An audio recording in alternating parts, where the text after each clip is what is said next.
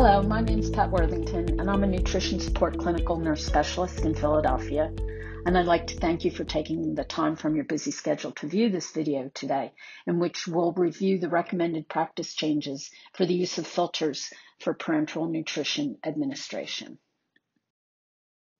The goal for today is to introduce you to the practice changes that are found in this paper, which was published in NCP in February of 2021. First, we'll take a quick look back at how the recommendations for filter use have changed over the years as background and context for our discussion. Next, we'll discuss the roles of filters in promoting patient safety and review the consequences of infusing particulate matter. And then finally, we'll summarize the current Aspen recommendations that are found in this paper and offer procedural guidance for managing some of the clinical challenges that arise related to filter use. Recommendations calling for the use of filters during PN administration first appeared more than 50 years ago. In 1969, doctors Wilmore and Dudrick suggested using filters during PN administration as a strategy for preventing infectious complications. Then in 1994, the FDA issued a safety alert in which they called for using filters to reduce the hazards of precipitation associated with PN. This came in response to reports of two deaths and at least two cases of respiratory distress associated with the infusion of unfiltered PPN formulations. The FDA is suggested using a 0.22 micron filter for dextrose and amino acid formulations and a 1.2 micron filter for TNA admixtures. In 2002, the CDC guidelines for the prevention of central line associated infection recommended against using filters for infection control purposes. And I'm going to come back and talk about this in a little while. 2004, Aspen released its safe practices guidelines, and this document reiterated the FDA recommendations for two filters, but also suggested that when considering particulate and microprecipitate contamination, a 1.2 micron filter could be used for all PN formulations.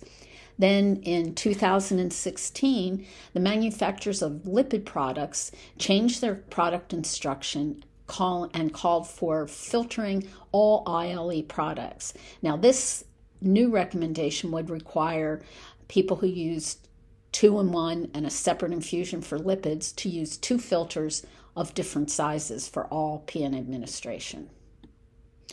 Following this change in recommendation to filter ILE, Aspen conducted a survey and gap analysis to evaluate current practice.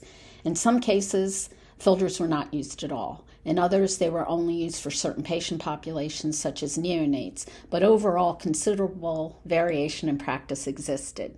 The reasons for lack of compliance with filter use varied, and they included things such as doubts about the strength of available evidence, a poor understanding of the risks, risks posed by particulate matter, concerns about costs, frustration with the clinical problems that can occur, such as low flow rates and occlusions, and the belief that filters do not screen microbes.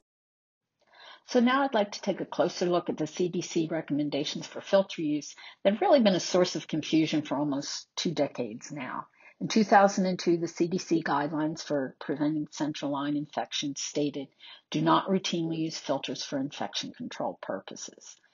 The CDC made this recommendation based on the understanding that most contamination occurs after the fluid is passed through the filter and that contaminated IV fluid is a very rare cause of catheter related infection. In addition, the CDC suggested that PN formulations be filtered in the pharmacy. Now, this might have worked for infection control purposes, but it would not protect against precipitates that can form in PN admixtures hours after compounding. And in any case, filtration is not possible with the modern automated compounding devices that are commonly used today.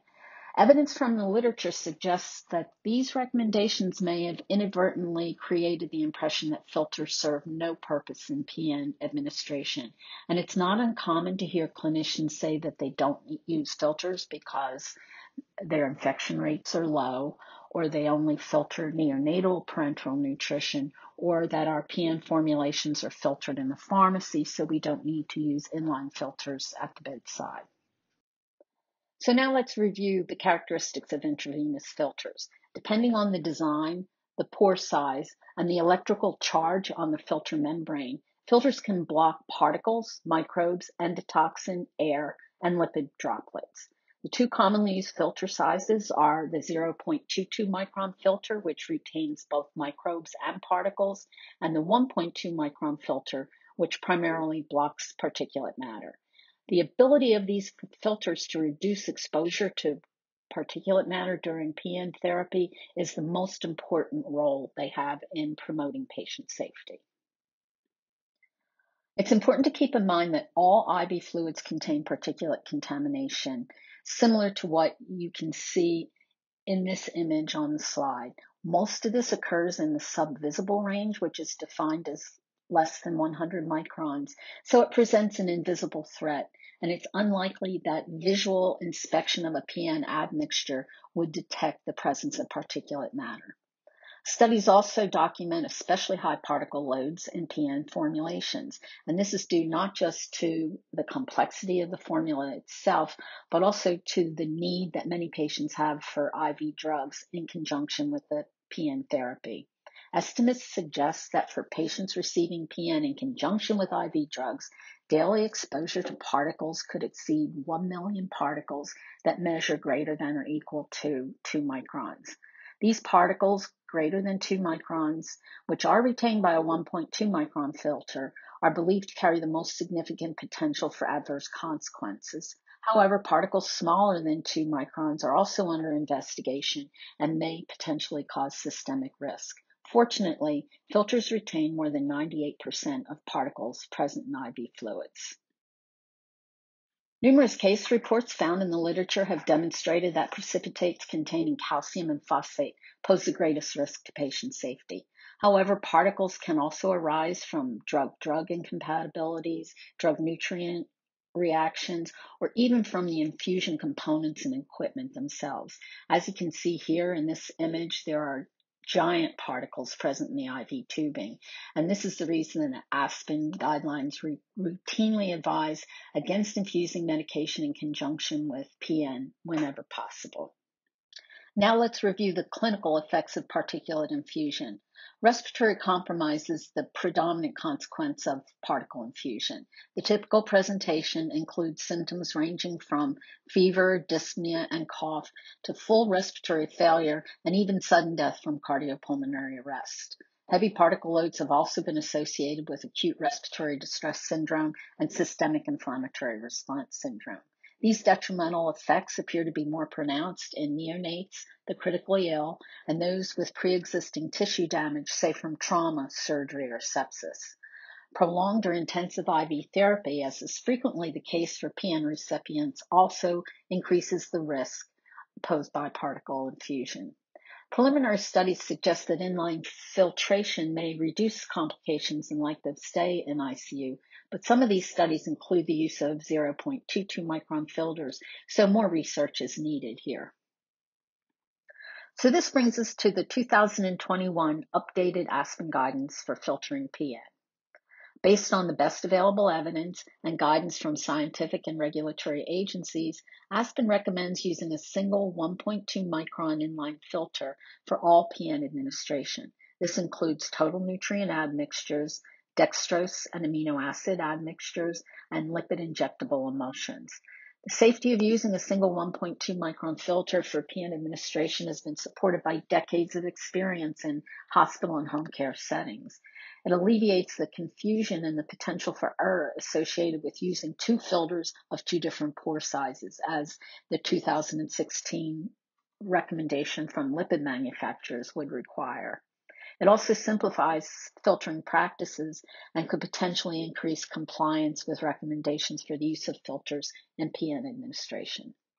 This illustration that you see here demonstrates the proper use of a 1.2 micron filter for PN administration.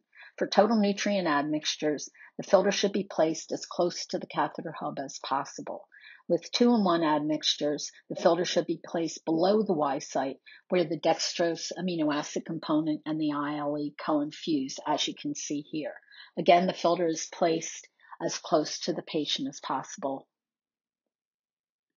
One of the most common complaints we hear about IV filters is that they have a tendency to clog and set off high pressure alarms in the pump. This can be an enormously frustrating problem for nurses to manage. The first step is to recognize that this problem does not represent a defect in the device, but rather it's evidence that the filter is doing its job. It's working as it's supposed to. The first step is to rule out causes of high pressure alarms that are not related to the filter, such as a forgotten clamp or a kinked piece of IV tubing. Next, verify that the correct filter has correct size filter has been used. So if a 0.22 micron filter is used for a, an infusion containing lipid, the the pore size will not allow the lipid to infuse and it will cause a clog in the filter. If the correct filter size is in place, then, it, then it's time to assume that particulate matter is the cause of this problem. Remember that precipitates can occur hours after compounding, so you may have a situation where the infusion seemed to be moving along just fine, and then hours into it, you, you have this problem.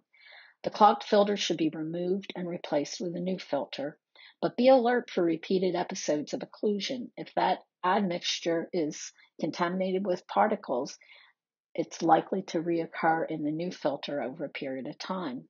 A pharmacist should always be involved to review the formulation and the factors related to it to determine the cause of the occlusion. And the most important piece of information is that the PN admixture should never be allowed to infuse without a filter present on the tubing. So now let's remove, let's review some take home points. First, inline filters serve a critical role in enhancing patient safety by reducing exposure to particulate matter during PN therapy. Next, respiratory compromise is the predominant effect related to particulate infusion, and numerous fatalities have been reported. Aspen recommends using a single 1.2 micron inline filter for PN infusions. PN formulation should never infuse without a filter. And Aspen recommends that healthcare organizations that do not filter PN admixtures or ILE reevaluate these decisions and consider the small cost of filters in comparison to the increased mortality and morbidity that may result from not filtering ILE or PN. I thank you for your attention. We have a few references here for you.